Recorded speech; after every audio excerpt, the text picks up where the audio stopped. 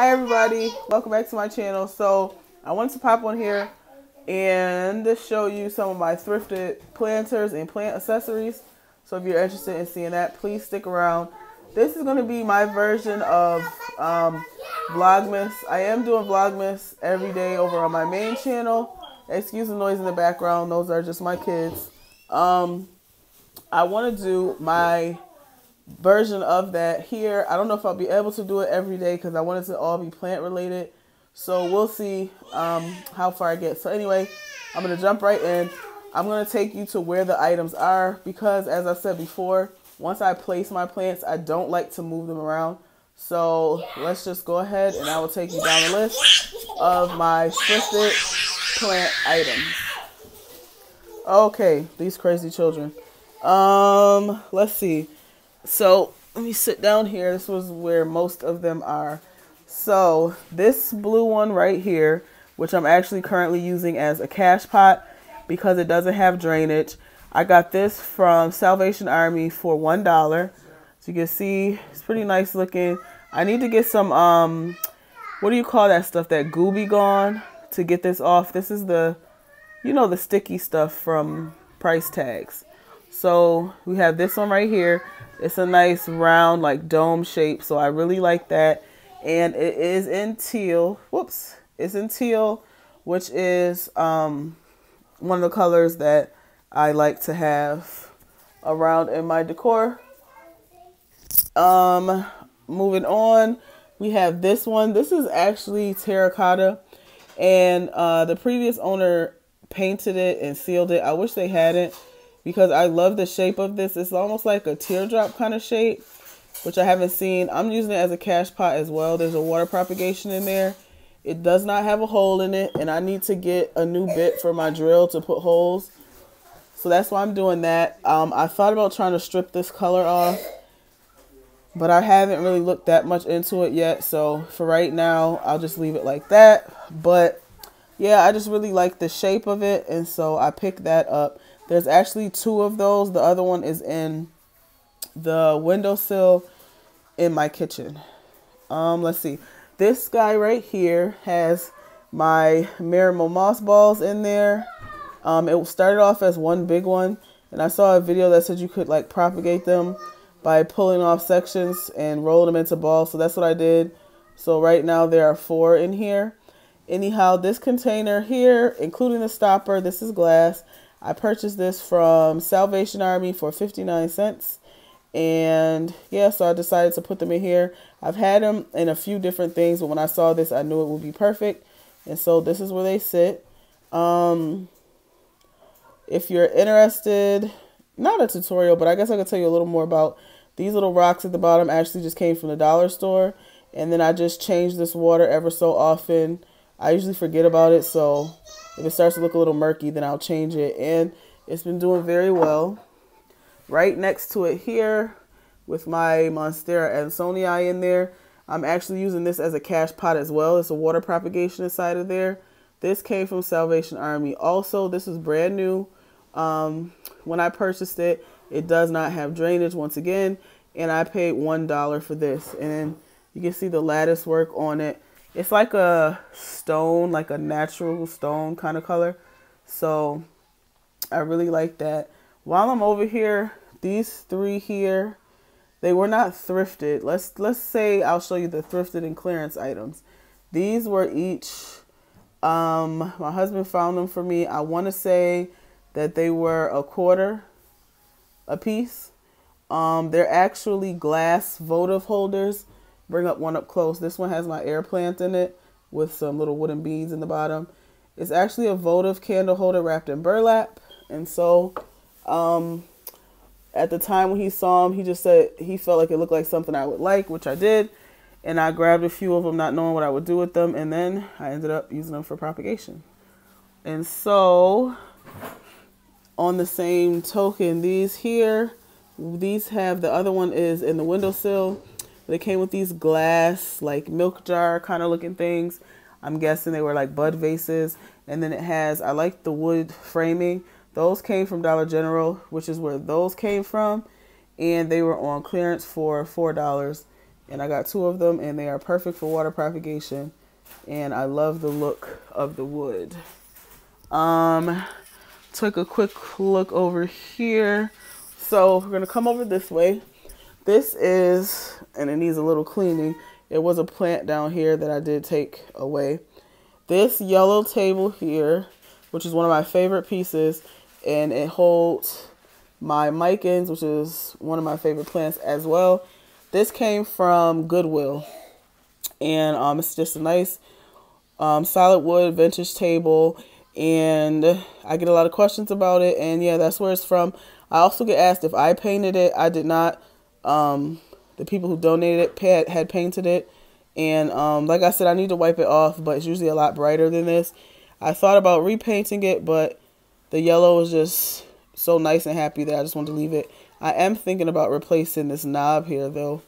Let me know in the comments what you think. Should I leave this here or try to find like some cool knob to put on it?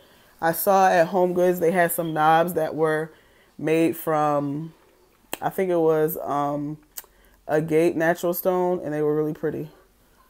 So moving on, I guess we start down here. This plate at the bottom, excuse me, this plate here at the bottom, actually, um, I purchased those from Savers as a set of plates like to use in the kitchen. They were new, nice, they're huge, they don't fit in the microwave which annoys my husband. So we stopped using them. We got new plates, and I've just had them in the bottom of the cabinet.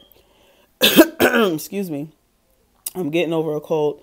Um, they were just in the bottom of the cabinet, and so when I have this larger pot, um, as you can see here, which has something different in it, I didn't have a saucer for it, and then I remembered these plates, and I thought it would be perfect, and so I used them under my larger plants um, to catch the water. So these are thrifted as well. Um, it's not deep like a dish, so you know it's only gonna hold so much water. But I remove the excess water immediately when I water my plant. so that works out perfectly for me. And then next over here, you can see my beautiful Monstera Deliciosa.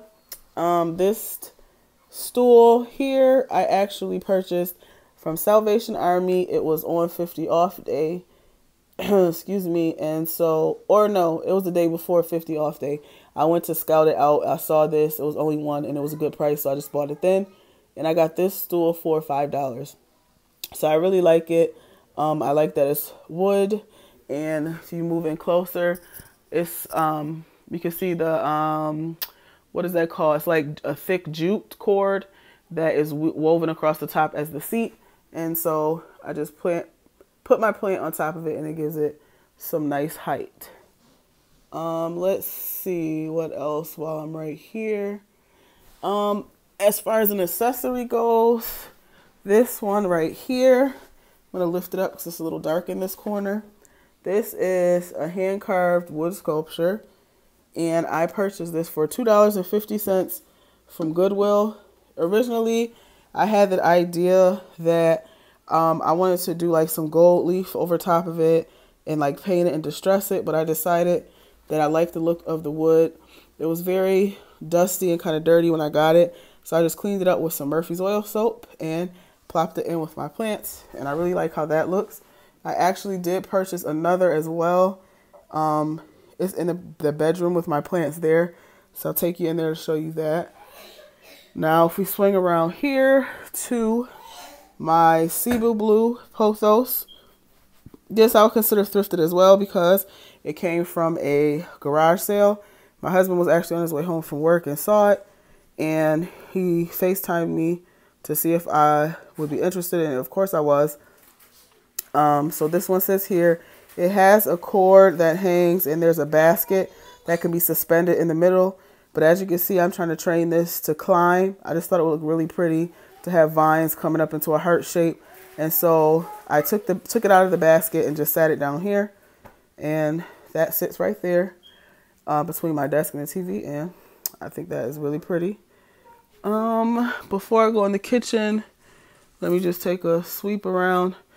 Uh, I think that's everything in here that is thrifted. So I'm going to take you into the kitchen. Okay, before we go into the kitchen, these one, two, three, these small pots here, They are terracotta pots. I've had them for a while. You can see they've started to get the mineral deposits on it from the water.